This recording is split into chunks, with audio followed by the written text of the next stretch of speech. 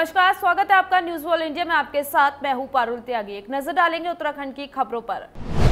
उत्तराखंड में कोरोना के मामले लगातार बढ़ते जा रहे हैं। ऐसे में सरकार की तरफ़ से तमाम कदम भी उठाए जा रहे हैं। लेकिन इस बीच सीएम तीरथ सिंह रावत ने लोगों को रामनवमी की शुभकामनाएँ दी। तो वहीं पूर्व सीएम त्रिवेंद्र सिंह रावत ने प्रदेश में बढ़ते कोरोना को लेकर चिंता जताई है। देखिए ये रिपोर्ट। देश में आज रामनवमी का त्योहार मनाया जा रहा है। मुख्यमंत्री तीरथ सिंह रावत ने रामनवमी के पावन पर्व की सभी प्रदेशवासियों को हार्दिक शुभकामनाएँ दी हैं। मुख्यमंत्री ने कहा कि मर्यादा पुरुषोत्तम, राम का जीवन हमें मर्यादा के पालन, त्याग और साहस की प्रेरणा देता है। आइए हम भगवान श्री राम के इन गुणों को अपने जीवन में अपनाने का संकल्प लें। रामनवमी की पावन अवसर पर हार्दिक शुभकामनाएँ। श्री राम का जीवन हमें त्याग समर्पण और साहस की प्रेरणा देता है। श्री राम के दिखाए मार्ग पर चलकर ही एक आदर्श समाज और राष्ट्र की स्थापना की जा सकती है। आइए हम सब मर्यादा पुरुषोत्तम श्री राम के इन्हीं गुणों को अपने जीवन में आत्मसात करने का संकल्प लें। सभी प्रदेशवासी श्रद्धापूर्वक और हर्षोल्लास से रामनवमी मनाएँ, लेकिन ध्यान रहे, इस दौरान कोविड को लेकर सरकार द्वारा तय गाइडलाइन का कड़ाई से पालन करें। वहीं उत्तराखंड में कोरोना के मामले जिस तरह से बढ़ रहे हैं, उसे देखते हुए पूर्व सीएम त्रिवेंद्र सिंह रावत ने चिंता ज़ाहिर की है। पूर्व सीएम ने कहा है कि राज्य सरकार ने उचित कदम उठाए हैं और ये लोगों को समझना होगा कि उनके स्वास्थ्य को ध्यान में रखकर फैसला लिया गया है। पूर्व सीएम ने कहा कि कोविड वैक्सीन को अनिवार्य करना चाहिए। पूर्व सीएम त्रिवेंद्र सिंह रावत ने सरकार को सुझाव देते हुए कहा कि इस समय उत्तराखंड प्रदेश वासियों की सुरक्षा सबसे ऊपर है और बाकी के काम बाद में। देखिए, हमारे जो व्यवस्थाएँ थी उस समय, लगभग पच्चीस हज़ार प्लस लोगों की कुल व्यवस्था थी, जिसमें आइसोलेशन वार्ड थे, क्वारंटीन सेंटर थे, और जो हमारे अस्पताल थे, और जो प्राइवेट अस्पताल हमने लिए थे, कुछ होटल्स भी लिए थे तो कुल मिलाकर ये व्यवस्था हमारे पास थी। लेकिन जिस तरह से आज केस बढ़ रहे हैं, कल जैसे तीन हज़ार प्लस केस चले जाना और पॉजिटिविटी रेट 3.66 ये सामने जो आया है, ये हालात को बयां करने के लिए काफ़ी है। ये ये भी हमको संदेश दे रहे हैं कि हमको अतिरिक्त सतर्कता बरतने की आवश्यकता है। अतिरिक्त सतर्कता बरतने की आवश्यकता है। ऐसे में जहाँ एक तरफ़ कोरोना से जंग जारी है, वहीं रामनवमी पर मंदिरों में लोगों की भीड़ भी नहीं देखने को मिली। देहरादून से न्यूज़ वॉल इंडिया के लिए आशीष रमोला की रिपोर्ट। कोरोना के प्रकोप के चलते प्रसिद्ध रामनवमी का त्योहार भी फीका दिखाई दिया। हल्द्वानी के मंदिरों में अक्सर रामनवमी के दिन भारी भीड़ होती है। साथ ही कई जगह भंडारा भी लगाया जाता है, लेकिन इस बार कोरोना के चलते मंदिरों में बेहद कम श्रद्धालु की संख्या दिखाई दी और कोविड नाइन्टीन के नियमों के अंतर्गत ही मंदिर के पुजारियों ने पूजा अर्चना की। लोग कोरोना के बढ़ते मामलों के बाद अपने घरों में ही त्यौहार मना रहे हैं। मंदिरों के दर्शनों को लगने वाली भीड़ बिल्कुल भी नहीं दिखाई दी। शहर के सबसे प्राचीन देवी मंदिर में भी भक्तों की काफ़ी कम भीड़ दिखाई दी। उत्तराखंड में कोरोना संक्रमण की दूसरी लहर और भी ज़्यादा घातक होती जा रही है। प्रदेश में पहली बार 24 घंटे के अंदर तीन हज़ार बारह नए संक्रमित मरीज़ मिले हैं। वहीं 27 मरीजों की जान चली गई। साथ ही एक्टिव केस की संख्या भी इक्कीस हज़ार के पार हो चुकी है। सात मरीजों को ठीक होने के बाद डिस्चार्ज किया गया है। प्रदेश में अब तक एक पाँच संक्रमित मरीज़ आ चुके हैं। ऐसे में प्रशासन ने भी हालात को देखते हुए पाबंदियाँ सख्त कर दी हैं। देखिए ये रिपोर्ट।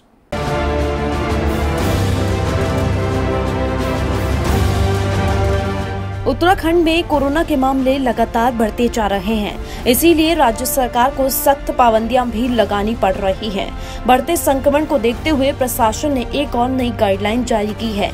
इस गाइडलाइन के अनुसार नियमों को और भी कड़ा और लोगों पर प्रतिबंध लगाने वाला किया गया है। नई गाइडलाइन के अनुसार अब सभी शिक्षण संस्थान, स्कूल अगले आदेश तक पूरी तरह से बंद रखने के निर्देश दिए गए हैं। इसके अलावा रात्रि कर्फ्यू का समय भी बढ़ा दिया गया है, यानी कि अब शाम को सात बजे से सुबह पाँच बजे तक कर्फ्यू जारी रहेगा। इस दौरान कोई भी व्यक्ति घर से बाहर नहीं निकल सकता। खास बात ये है कि सरकार ने अब शहरी क्षेत्र में आवश्यक सेवाओं से जुड़े कार्यालयों को छोड़कर सभी कार्यालयों को दिन में दो बजे के बाद बंद करने के आदेश दिए गए हैं। दरअसल उत्तराखंड में पिछले 24 घंटे में 2000 से ज़्यादा नए केस सामने आए हैं एक्टिव केसों की संख्या बढ़कर 18,000 के पास चली गई है साढ़े तेरह हज़ार ऐसी ज़्यादा लोग होम आइसोलेशन में हैं, तो 5,000 से ज़्यादा मरीज़ हॉस्पिटल में भर्ती हैं। हालात को देखते हुए नई गाइडलाइंस जारी की गई हैं। स्वास्थ्य विभाग की रिपोर्ट के मुताबिक मंगलवार को पच्चीस हज़ार बारह सैंपलों की जाँच रिपोर्ट नेगेटिव आई है। प्रदेश में सक्रिय मरीजों की संख्या इक्कीस हज़ार चौदह पहुँच गई है। वहीं अब तक उन्नीस सौ उन्नीस मरीजों की कोरोना के चलते जान चली गई है। न्यूज़ वर्ल्ड इंडिया के लिए ऋषिकेश से संजय शर्मा की रिपोर्ट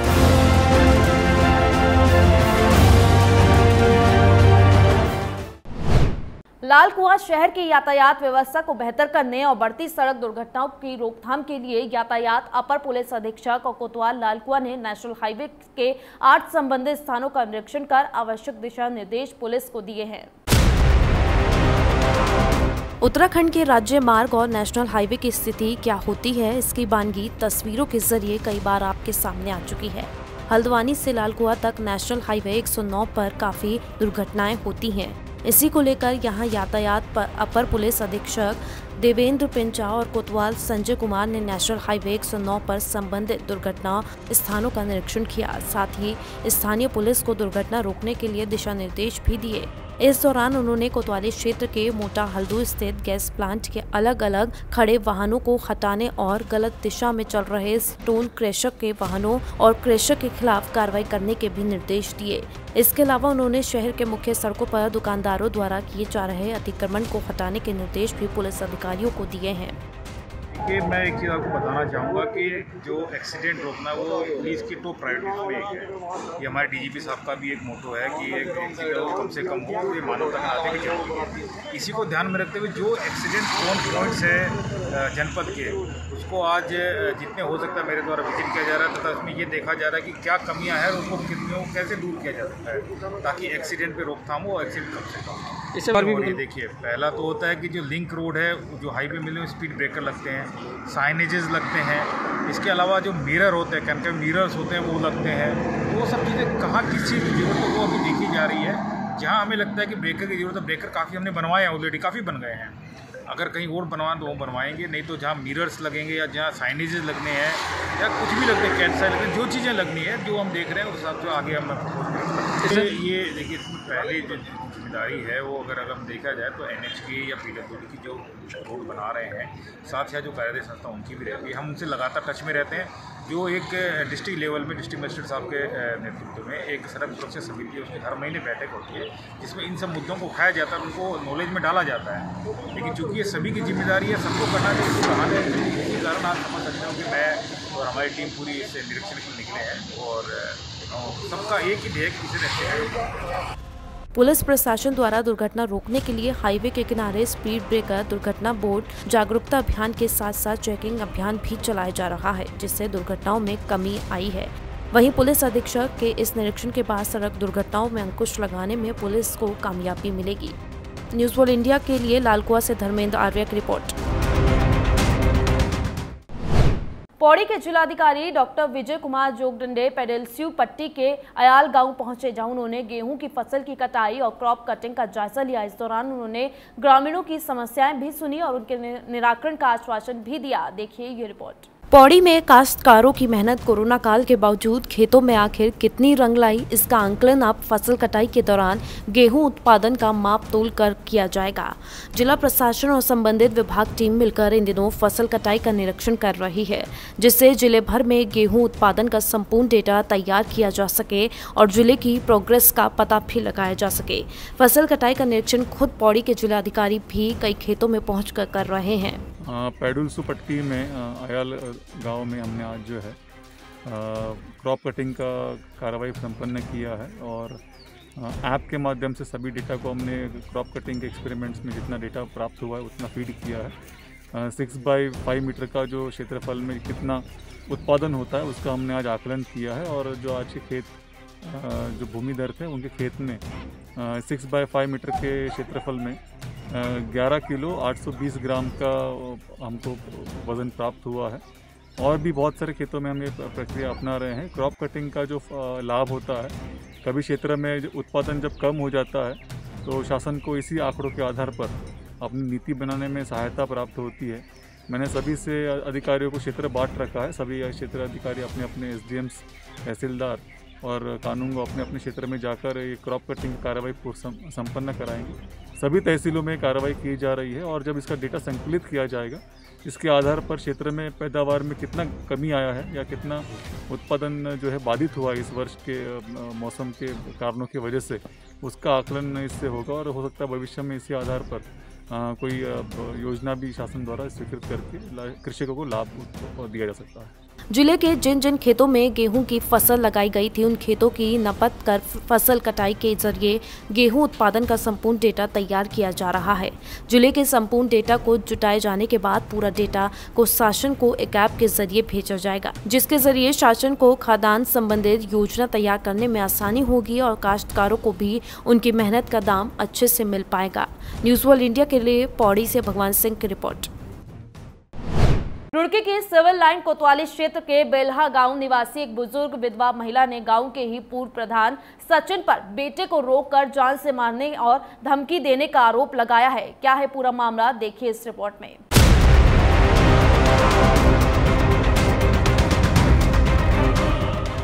बेलरा गाँव निवासी एक महिला ने गाँव के ही पूर्व प्रधान सचिन पर कई गंभीर आरोप लगाते हुए एसएसपी हरिद्वार को एक पत्र लिखकर शिकायत करते हुए कार्रवाई की मांग की है। महिला का आरोप है कि पूर्व प्रधान ने गाँव के तालाब पर पैसे लेकर लोगों का कब्जा करवाया हुआ है। महिला का आरोप ये भी है कि पूर्व प्रधान सचिन एक भू माफिया है जो लोगों की जमीनों पर कब्जा कराता रहता है। यो मसलार था ना हम हमारा खेत में हमने भाई बंदी तो दंत ट्रैक्टर कटवा रखा और ये गढ़ ही हम मने कर रहे थे हम जब मार देने की धमकी दे रहा नुकरा करट लगा कर मारूँगा और मैं सारा खेत खुदवा दूँगा यो कर दूँगा वो कर दूँगा। प्रधान कह रहा इतना ही नहीं पूर्व प्रधान पर बार बार धमकी देने का भी आरोप पीड़ित पक्ष की तरफ़ से लगाया जा रहा है। कौन कौन सा गाँव? क्या हमारी सवा बीघा ज़मीन कम हो रही बाल और आदेश हो काउट के पूरी नहीं हो रही बाइक पर भी अब तक के।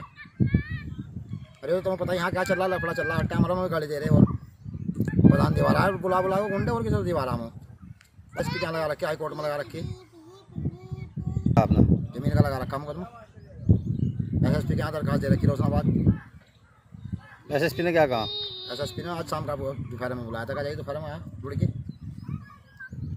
जाने ज़रूरी कोर्ट वाले में क्या होगा सर हालाँकि मामले की शिकायत जिलाधिकारी से भी की गई है लेकिन अभी तक कोई कार्रवाई नहीं हुई। जिस तरह से मामले की शिकायत जिलाधिकारी से कर तो दी गई है लेकिन कार्रवाई कब तक होगी ये देखने वाली बात होगी। रुड़की से न्यूज़ वर्ल्ड इंडिया के लिए शुभ गौर की रिपोर्ट।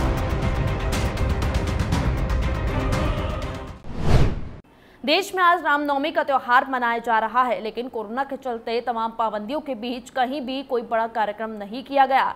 ऋषिकेश शहर के एकमात्र रघुनाथ मंदिर में भी रामनवमी का त्यौहार बड़े ही साधारण ढंग से मनाया गया।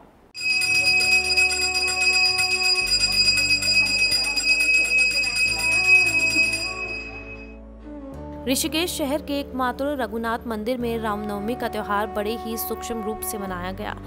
वैसे तो हमेशा बड़ी धूमधाम से राम जी का जन्मदिन मनाया जाता था। लेकिन कोरोना काल के चलते इस महामारी से बचने के लिए बहुत ही सूक्ष्म रूप से भगवान को निकट गंगा जी में स्नान कराकर मंदिर में स्थापित कर दिया गया।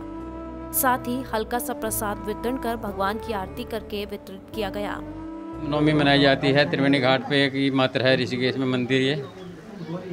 इसी में हम लोग आते हैं और इसमें सवारी निकलती है हर साल। गंगा जी स्नान कराया जाता है, सब कुछ होता है, लेकिन इस कोविड महामारी के चक्कर में आज सूक्ष्म रूप से गंगा स्नान कराया गया, मूर्तियों को, विग्रह को, और हम लोग यहीं पूजा करने आए हैं। धूमधाम से मनाया जा रहा है, लेकिन बस जो कोविड ने करा है, सब आपको पता ही है। मंदिर के संचालक राहुल शर्मा ने बताया कि कोरोना काल में शुभ शुद्ध रूप से कोरोना के अलावा और कोई रास्ता नहीं था लेकिन भगवान के जन्म को बताना भी था। इसीलिए तन्ना में स्नान कराकर भगवान को पुनः मंदिर में स्थापित कर दिया गया। रामनवमी तो जो है मनाई गई है लेकिन जिस धूमधाम से जो है रामनवमी मनाई जाती है उस धूमधाम से जो है रामनवमी नहीं मनाई गई क्योंकि रामनवमी का जो है ए, सवारी निकलती है बैंड बाजे के साथ में जो डोला निकलता है किंतु वर्तमान में जो है जो कोरोना संबंधी जो आपदा आई हुई है, जिसमें जो है मानव जीवन की सुरक्षा को खतरा उत्पन्न हो गया है, इससे बचाव के लिए जो है निर्णय लिया गया कि रामनवमी जो सूक्ष्म तरीके से जो है मनाई जाए। इसके लिए भगवान का जो स्नान, तत्पश्चात जो है भगवान की आरती और प्रसाद वितरण कार्यक्रम जो है रखा गया है। बता दें, हर साल इस मंदिर में बड़ी धूमधाम से रामनवमी का त्योहार मनाया जाता था। डोली में बिठाकर नगर भ्रमण भी राम जी को कराया जाता था, जहाँ तहां लोग भगवान के फूल माला पुष्प वर्षा से स्वागत करते थे, लेकिन इन दो सालों में इस तरह का कोई भी कार्यक्रम नहीं हो पाया। न्यूज़ वर्ल्ड इंडिया के लिए ऋषिकेश से संजय शर्मा की रिपोर्ट। ऋषिकेश के मायाकुंड में त्रिवेणी घाट के पास सुबह उस समय अफरा तफरी मच गई, जब दूसरी मंजिल पर मौजूद एक कैफ़े में आग की लपटें उठती लोगों ने देखी। तेज हवा चलने की वजह से आग तेज़ी से फैल गई और पूरा कैफ़े जलकर राख हो गया।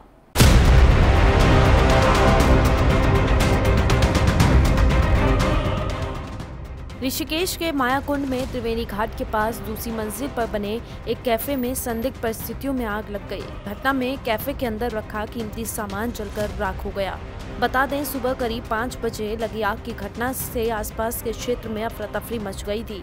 तेज हवा चलने की वजह से आग तेज़ी से फैलती हुई दिखाई देने लगी।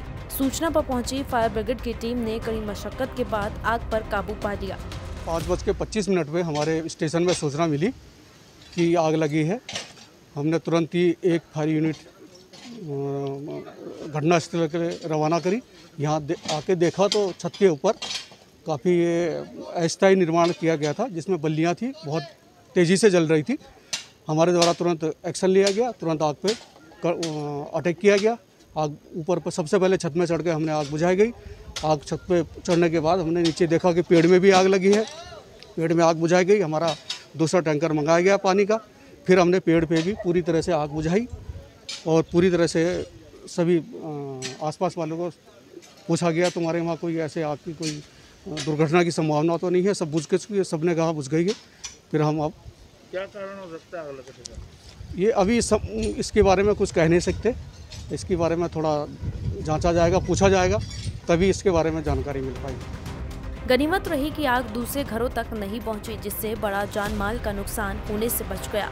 हालाँकि एक पेड़ भी आग की चपेट में आकर जल गया। आग लगने की वजह भी स्पष्ट नहीं हो सकी है। फायर ब्रिगेड के अधिकारी आग लगने के कारणों की जाँच कर रहे हैं। बता दें, शॉर्ट सर्किट की वजह से आग लगने का अनुमान लगाया जा रहा है। दूसरी मंजिल पर बने कैफ़े में लकड़ी और घास का इस्तेमाल किया गया था, जिसकी वजह से मिनटों में ही कैफ़े जलकर राख हो गया। न्यूज़ वर्ल्ड इंडिया के लिए ऋषिकेश से संजय शर्मा की रिपोर्ट।